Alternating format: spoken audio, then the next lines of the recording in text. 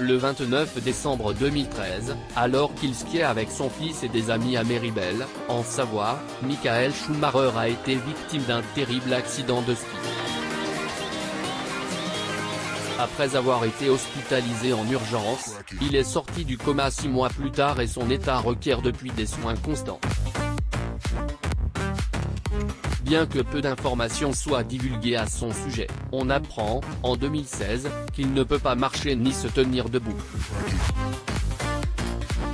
Dans le documentaire Schumacher, sorti en septembre 2021, ses proches évoquent également l'impossibilité de communiquer avec lui. Depuis son tragique accident, Michael Schumacher est grandement protégé par sa famille et ses amis proches, qui assurent une discrétion totale autour de sa santé. Mais si le septuple champion de Formule 1 vit à l'abri des regards indiscrets depuis 10 ans, le mariage à venir de sa fille va-t-il changer la donne?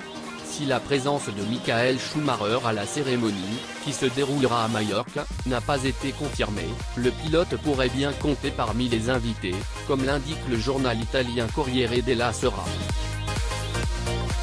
Le mariage devrait prendre place dans la villa de la famille Schumacher, qui dispose d'un équipement spécialisé pour le champion.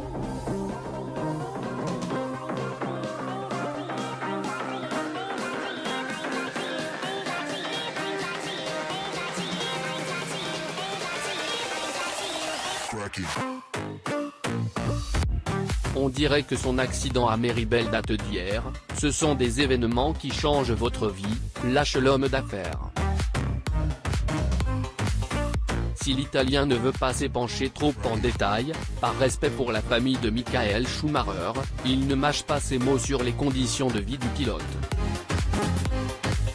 Ce qui se passe entre moi et sa famille reste privé, mais vivre ainsi pendant dix ans est une chose que l'on ne peut souhaiter à personne, même pas à son pire ennemi, avoue Stefano Domenicali.